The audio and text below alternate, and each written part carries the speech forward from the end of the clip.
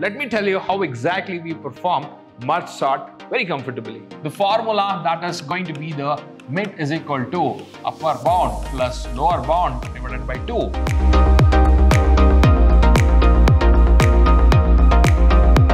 Hello everyone, I welcome all of you to the yet another interesting session on searching and sorting.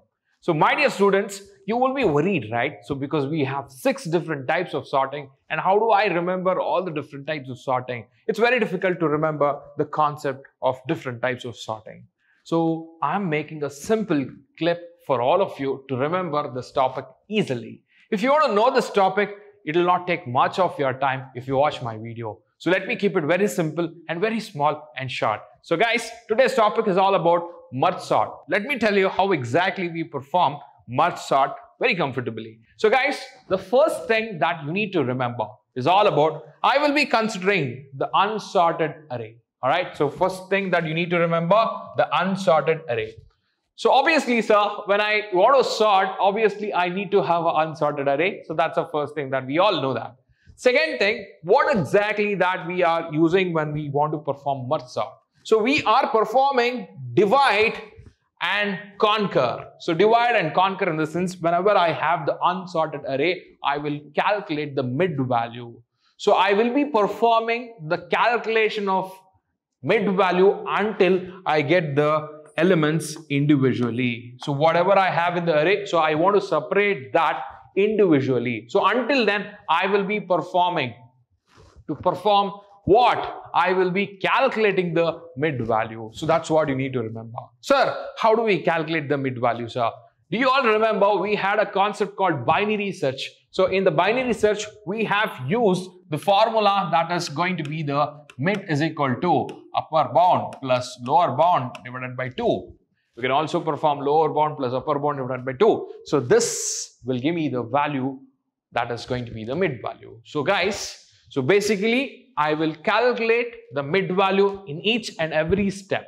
So till when recursively you will calculate recursively in the sense again and again the same function call itself. Okay. So till when you will be calculating the mid value. So till you get the values individually. So that's what you need to remember. So fine, let me explain the flow first. So guys, basically I have an unsorted array. So I'm going to divide this into two different parts. So, so how many elements that I have? 1, 2, 3, 4, 5, 6, 7, 8. So fine. So if I calculate the mid value for this array, obviously I will get two different arrays which has got four elements in the first part and four elements in the second part. So fine. So let me start explaining this side first and then I will come to that side. Okay. So guys, when it comes to this sub array, again I will calculate the mid value. So I have 4. So if I calculate the mid value, obviously 2. So this is separate array and that is separate array. So again, I will calculate the mid value. So guys, obviously, so you all know, right? So upper bound and lower bound, if I calculate that, so I will be separating the values. So I have 56 and 29. So separately I will keep it. So again same thing here 35 and 42 I will separate it. So this level what you are seeing. So I got the individual values from the array. So now I have divided the array into single elements. That is the first part of merge sort. So fine you have divided the array. So what next?